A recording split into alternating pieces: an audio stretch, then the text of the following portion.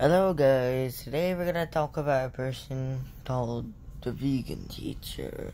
Yeah, you heard that. She's a woman that tells us to be vegan, which not everybody will believe. She has done viral stuff that made her get a lot of dislikes. Like she's talking to a 16 year old, no, 16 year old Tommy Innit, and like telling, she's telling him, good job or something like literally stalking him or something.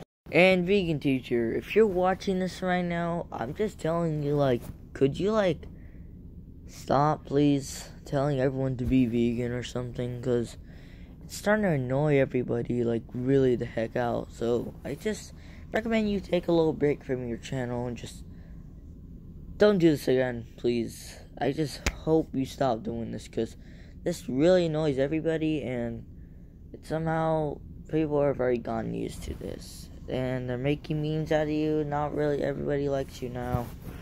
Only some of your people like you then.